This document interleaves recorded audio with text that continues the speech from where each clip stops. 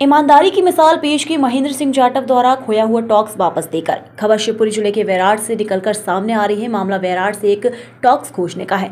जगतगुरु संत रामपाल महाराज हरियाणा वाले के शिष्य महेंद्र सिंह जाटव ग्राम केमई ने अपनी ईमानदारी की मिसाल पेश की। खोया हुआ टॉप्स वापस देकर इस जमाने में ऐसे लोग भी बहुत कम मिलते हैं, जिन पर भगवान का आशीर्वाद और कृपया होती है। वहीं लोग इस जमाने में ईमानदार होते हैं। जानकारी के अनुसार सतीश धाकड़ की पत्नी सरस्वती धाकड़ के कान से बारह दिन पहले टॉक्स गिर गया था। जो महेंद्र सिंह जाटव को रास्ते में मिल गया था, जिसे बेचने पुराना बस स्टैंड वेराट जे ज्वेलर्स गौरव गुप्ता टपरिया वाले की दुकान पर पहुँचा।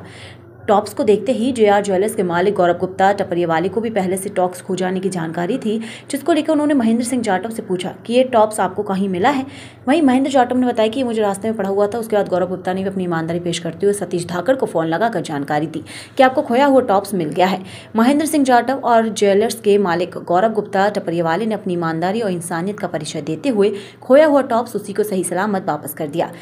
सच कहा जाता है कि मेहनत की कमाई कहीं नहीं जाती है। टाइम भले ही कितना भी लगे और ईमानदार लोग कुछ ही होते हैं जिनको भगवान का आशीर्वाद प्राप्त होता है। विराट से धर्मेंद्र शर्मा की रिपोर्ट।